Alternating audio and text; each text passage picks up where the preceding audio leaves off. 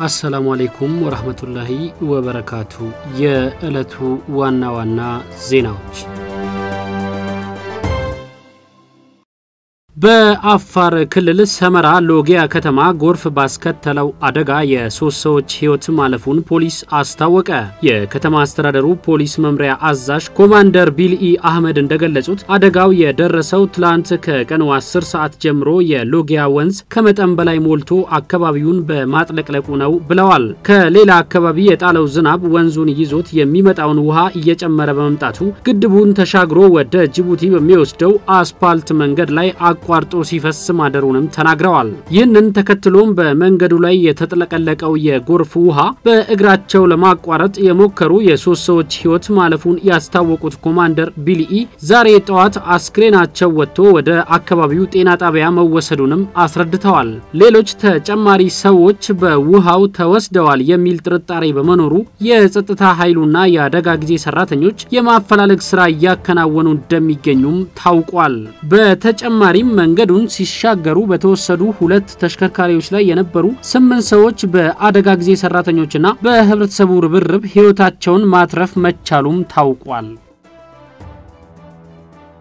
ዘላቂ ስራ ለብሩህ ነገ በሚል መሪ ቃል ሁለተኛው ብሔራዊ የስራ ጉባኤ ማጠቃለያ ፕሮግራም መካሄዱ ተነገረ። በጉባኤው ላይም ምክትል ጠቅላይ ሚኒስትርና የውጭ ጉዳይ ሚኒስትር አቶ ደመቀ መኮንን፣ የስራና ክህሎት ሚኒስትር ሙፈሪሃት ካሚል፣ በስራና ክህሎት ሚኒስቴር የስራ ስምሪትና ገበያ ዘርፍ ሚኒስትር ዴኤታ አቶ ንጉሱ ጥላሁን እንዲሁም ጥሪ የተደረገላቸው እንግዶች ተገኝተውበታል። በተካሄደው ሁለተኛው ብሔራዊ የስራ ጉባኤ አዳዲስ የስራ ፈጠራ ኢንተርፕራይዞችና ማህበራት ከፍተኛ አፈጻጸም ላደረጉ የእውቅናና የገንዘብ ሽልማትም ተበርክቶላቸዋል። የሰላም ውይይት የኢትዮጵያ ጥቅምና አንድነትን ባስከበረ መልኩ መካሄድ እንዳለበት ተጠቆመ። በመንግስትና በህወሀት በኩል ለሰላም ሲባል የሚደረገው የሰላም ውይይት የኢትዮጵያን ጥቅም ባስጠበቀና አንድነትን ባስከበረ መልኩ መካሄድ እንዳለበት የቀድሞ ከፍተኛ የጦር መኮንኖች ተናገሩ። የቀድሞ የአየር ኃይል ጦር አዛዥ ብርጋዴር ጀነራል ተስፋዬ ሀብተማርያም ጦርነት አውዳሚ፣ የሰው ህይወት ቀጣፊ፣ ኢኮኖሚን የሚያደናቅፍና ለስደት የሚዳርግ መሆኑን በፍላጎት ሳይሆን በግዳጅ የሚገባበት መሆኑንም ገልጸዋል። ከዚህ አኳያ ተቃራኒ ቡድኑ ለድርድሩ ሰላማዊ ሆኖ ከቀረበ የሁለቱ ወገኖች ቁርሾ በሰላም ማለቁ ተገቢ መሆኑንም ጠቅሰዋል። ከአቅም በላይ የሆኑ ግዴታዎች ለውይይት የሚቀርቡ ከሆነ ግን ተገቢ እንዳልሆነ አገርን አሳልፎ መስጠት እንደማያስፈልግም ጠቁመዋል። የጉራጌ ዞን የክላስተር አደረጃጀት የተቃወመበትን ውሳኔ ለፌዴሬሽን ምክር ቤት ማስገባቱን አስታወቀ። የዞኑ ምክር ቤት አፈ ጉባኤ አርሺያ አህመድ ዛሬ ከአልአይን አማርኛ ጋር ባደረጉት ቆይታ የምክር ቤቱ ውሳኔና ተያያዥ ሰነዶች ለፌዴሬሽን ምክር ቤት መግባቱንም አረጋግጠዋል። አፈ ጉባኤዋ ከአልአይን አማርኛ ጋር በስልክ ባደረጉት ቆይታ የፌዴሬሽኑ የስራ ኃላፊዎች ስብሰባ ላይ እንደሆኑ እንደተነገራቸው ገልጸዋል። ለፌዴሬሽን ምክር ቤት የገባው ሰነድ ሐሙስ ዕለት የዞኑ ምክር ቤት የክልል አደረጃጀትን በሚመለከት ያሳለፈውን ውሳኔ እንደሆነም ታውቋል። የወረዳና የከተማ አስተዳደር ምክር ቤቶች ጉባኤዎችን በተመለከተ የዞኑ አመራሮች ምላሽ ከመስጠት መቆጠባቸውም ታውቋል። ከፍተኛ ትንቅንቅ በተስተዋለበት የኬንያ ፕሬዝዳንታዊ ምርጫ ምክትል ፕሬዝዳንት ሆነው ሲያገለግሉ የቆዩት ዊሊያም ሩቶ አሸናፊ መሆናቸውን የሀገሪቱ ምርጫ ቦርድ በትላንትናው ዕለት አስታውቋል። ሩቶ ያሸነፉበት ከተሰጠው ጠቅላላ ድምፅ 50 ነጥብ 49 በማግኘት ሲሆን ሁለተኛ ሆነው ያጠናቀቁት ራይላ ኦዲንጋ 48.8 percent ድምፅ ማግኘታቸውን ኮሚሽኑ ይፋ አድርጓል።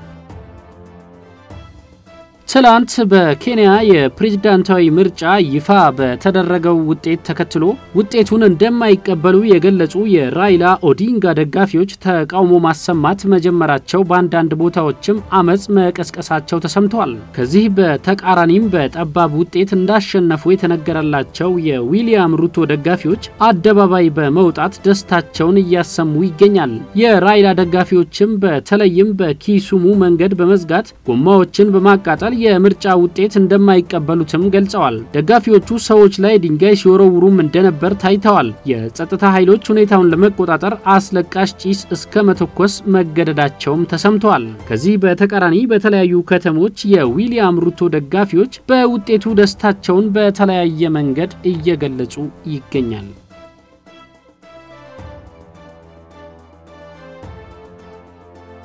እንግሊዝ የኑሮ ውድነትን ምክንያት በማድረግ የትምህርት ቀናት ከአምስት ቀን ወደ ሶስት ቀን ልታደርግ መሆኑን አስታወቀች።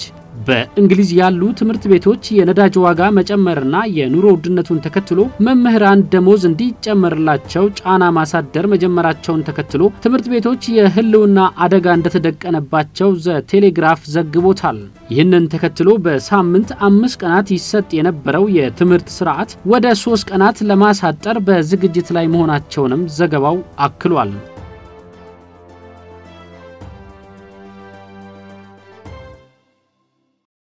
የሩሲያ ጦር ዓመታዊ ፎረም በሞስኮ አቅራቢያ መጀመሩ ተነገረ።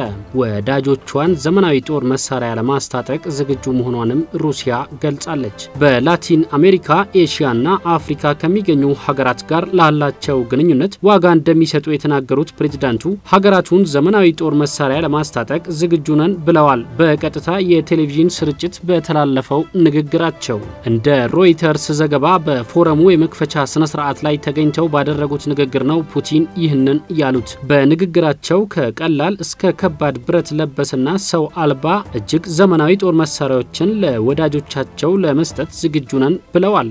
የሩሲያ መሳሪያዎች በአስተማማኝነታቸው በጥራታቸውና በሚሰጡት ጥቅም እንዲሁም ባላቸው ከፍተኛ ብቃት በወታደራዊ ጠበብት ዘንድ ተመራጭ ስለመሆናቸውም ተናግረዋል። ሁሉም በሚባል ደረጃ ከአንድ ጊዜ በላይ በአውደ ውጊያዎች ጥቅም ላይ ውለዋል ሲሉም ፕሬዚዳንቱ ተናግረዋል። ሀገራቸው በዩክሬን በማካሄድ ላይ ካለችው ዘመቻ ጋር በተያያዘ በተገለገለችበት በዚህ ወቅትም ከጎኗ የቆሙ ብዙ ወዳጆችን አመስግነዋል። በተደራረቡ ማዕቀቦችና እገዳዎች ስር ያለችው ሩሲያ በጦር መሳሪያዎች ሽያጭ ከአሜሪካ በመቀጠል ከዓለማችን ሁለተኛዋ ሀገር ናት። ሆኖም እንደ ስቶክሆልም ዓለም አቀፍ የሰላም ምርምር ተቋም መረጃ ከሆነ የምትሸጣቸው ጦር መሳሪያዎች መጠን ከቅርብ ዓመታት ወዲህ እየቀነሰ መጥቷል። ጦር መሳሪያ አምራቹ የሀገሪቱ መንግስት ተቋም ሮስቴክ ግን በዚህ አይስማማም። የተቋሙ ዋና አስተዳዳሪ ሰርጊ ቼሜዞቭ በፎረሙ እንደተናገሩት ከሆነ በዩክሬን በመካሄድ ላይ ያለው ዘመቻ የሩሲያ ጦር መሳሪያ ንግድ አላቀዘቀዘውም። በዚህ ዓመት ብቻ የአንድ ትሪሊየን ሩብል 16 ቢሊዮን ዶላር ዋጋ ያላቸው የግዢ ስምምነቶችን መፈራረማቸውንም ተናግረዋል።